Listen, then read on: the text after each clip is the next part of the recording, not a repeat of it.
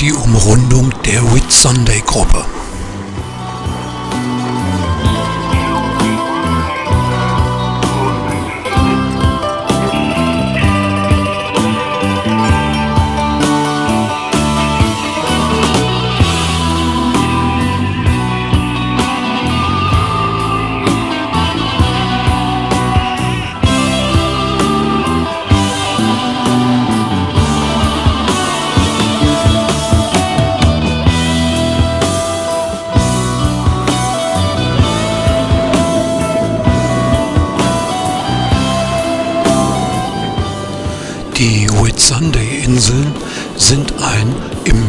Versunkenes Gebirge, von dem lediglich noch die Gipfel sichtbar sind.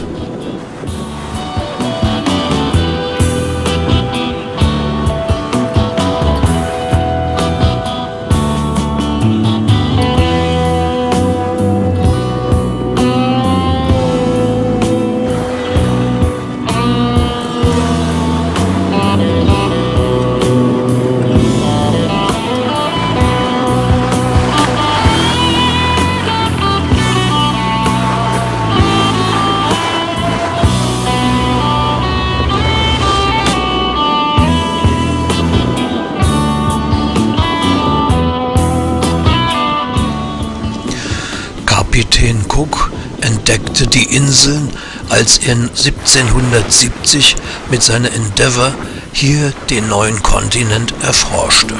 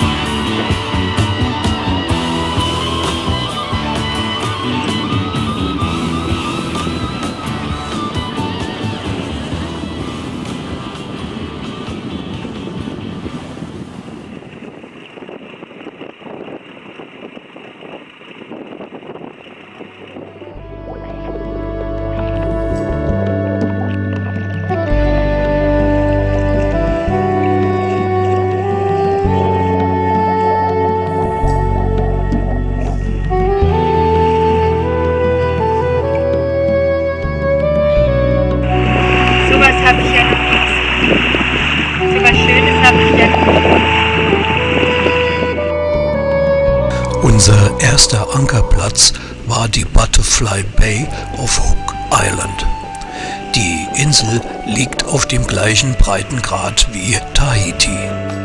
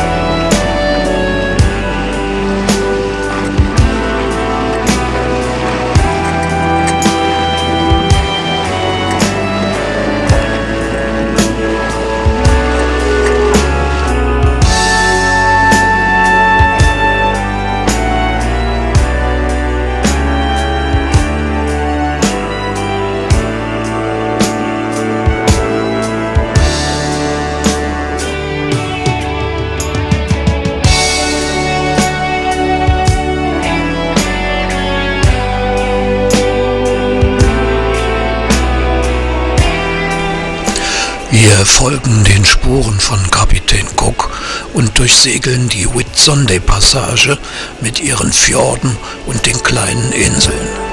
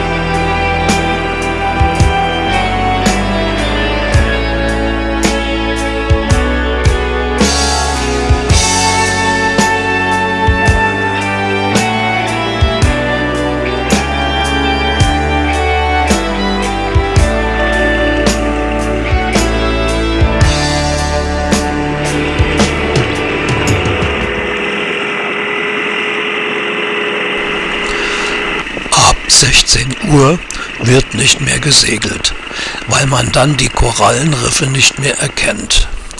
Deshalb gehen wir bei Sid Harbor vor Anker und unternehmen mit dem Beiboot eine Entdeckungsreise an Land.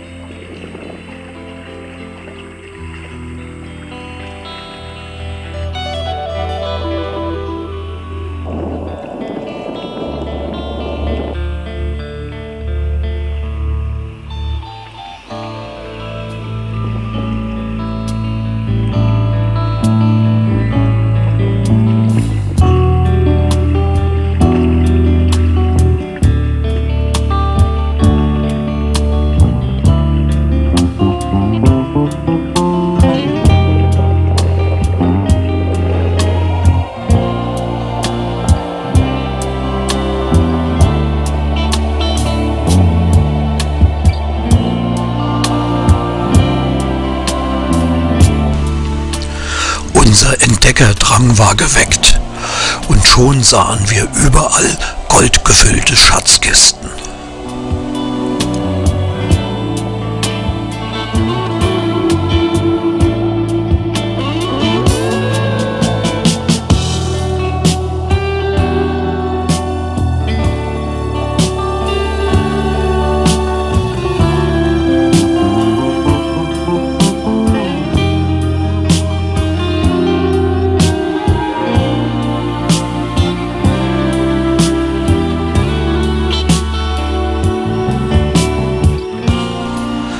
Leider scheiterte unser Unternehmen schon nach einigen Metern im undurchdringlichen Regenwald. So mussten wir ohne Reichtümer zu unserem Boot zurückkehren.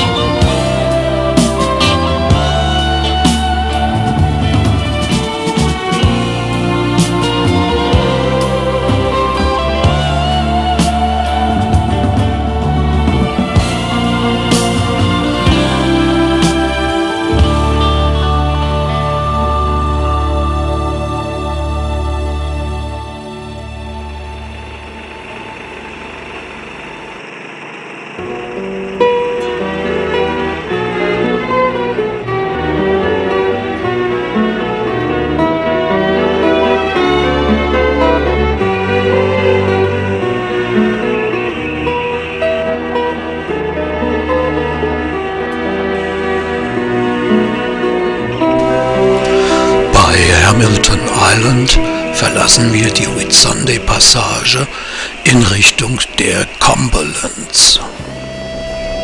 Da soll es schöne Badestrände geben.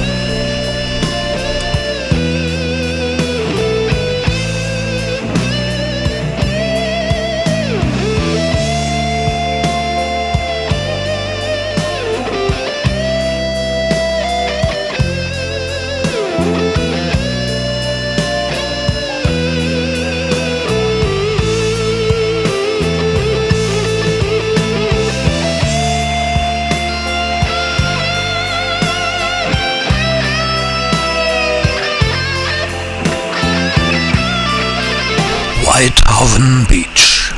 Wir hatten den Traumstrand unseres Lebens entdeckt.